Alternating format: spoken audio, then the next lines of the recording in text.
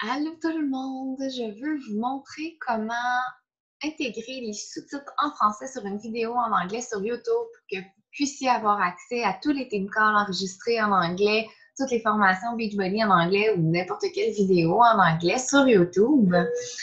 Euh, donc comme là vous voyez, c'est en anglais. C'est l'appel qu'il y a eu, le dernier appel qu'il y a eu. Donc on vient sur paramètres, on vient sur sous-titres on va cliquer dessus. Anglais généré automatiquement. Et par la suite, nous allons devoir venir sur sous-titres, traduire automatiquement et nous allons sélectionner euh, français. Français ici.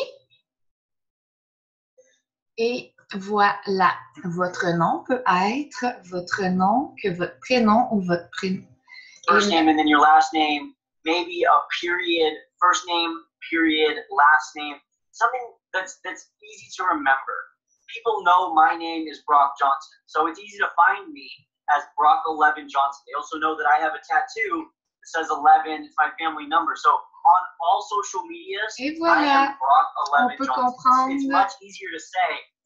On peut comprendre les formations si on ne parle pas anglais.